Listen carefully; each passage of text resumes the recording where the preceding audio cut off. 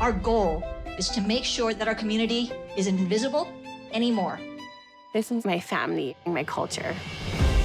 It was a revolution to show the Asian American experience. We brought the example of doing it despite everything. We have to come out together and raise our voice. It's important that you see us for who we are